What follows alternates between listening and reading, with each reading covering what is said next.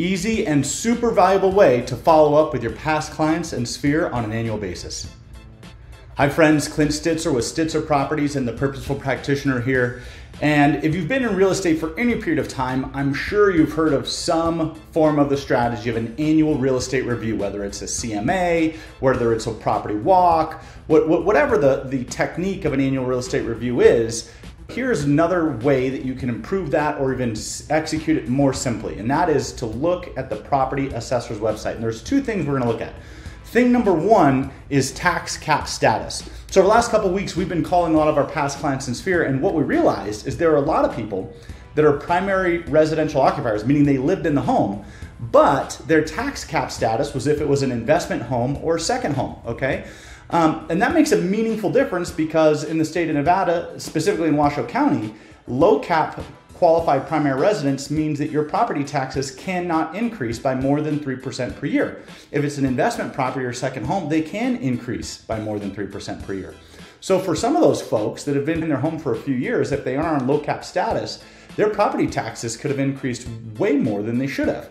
Okay, so simple way to check is just go over here to the uh, property. Here's my house, tax cap status, low cap qualified primary residence. Okay, so I filled out the form correctly. I'm considered primary residence. Now, if that does not say low cap qualified primary residence, you can call your client and let them know that and then share this link that gives them the procedure on how to file their tax cap claim online and to go through that process if there's money to go back. So that's all right here. I'll throw this link in the description.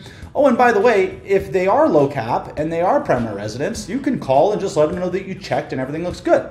The other item that you want to look at here, so let's say that you do a CMA for your sphere or they're on HomeBot, is you could just do a quick check on their total taxable value down here relative to your estimated market value. Now, if the total taxable value is greater than their estimated market value, then that's against Nevada law. They cannot have an assessment that's greater uh, than market value, else they can appeal their property tax value and get their property taxes lower. Okay, so those are the two things to look at on this page that you can use as relevant, value added reach out to your past clients in your sphere using a CMA and tax cap status. This is Clint Stitser wishing you great success in your real estate career. If you have any questions, shoot me an email, shoot me a call. We'd love to hear from you. Thanks.